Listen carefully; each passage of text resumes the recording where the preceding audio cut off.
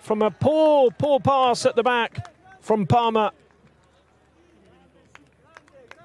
And Insigne were the easiest of finishes, so Insigne also on the uh, scoreboard now. 2-0 Napoli.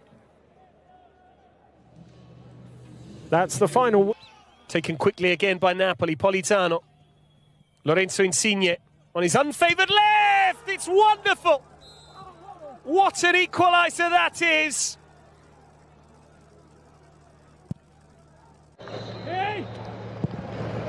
Oh, and he's found a direct route to goal with a glorious goal after half an Lovely control and spin on that to feed Insigne. This is a lovely build-up from Napoli, and it's a splendid goal. It really is.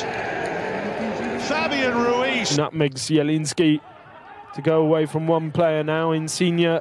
Insigne cuts in. Insigne! Super goal! He's done it again. Lorenzo Insigne gives Napoli the lead. Out wide to Insigne now. Napoli look for goal number two. Insigne's ball in is a lovely one. Lozano's there.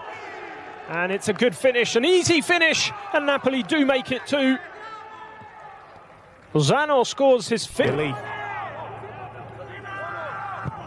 Fabio Ruiz, it's knocked down. Lorenzo Insigne! They needed a hero! Who else?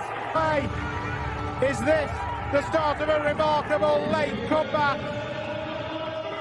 A touch of class from Lorenzo the Magnificent. Oh, here he goes, Lorenzo Insigne.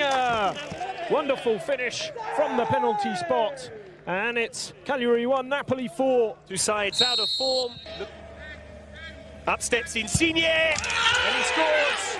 Top corner once more, top draw from the top man. Seventh start of the league campaign for him now. This is uh, Hirving Lozano rolling that one in. And Insigne guides it home, and Napoli have the early lead inside the opening five minutes of the game. Beautifully placed now from Amrabat, chased by Milenkovic. He takes some catching Insigne when he's playing like this. And it's a lovely ball into Lozano, and it's an absolutely brilliant goal from Napoli, created by their captain, Lorenzo Insigne. And it's five. He squeezed that one in, didn't he? Dragowski did really well.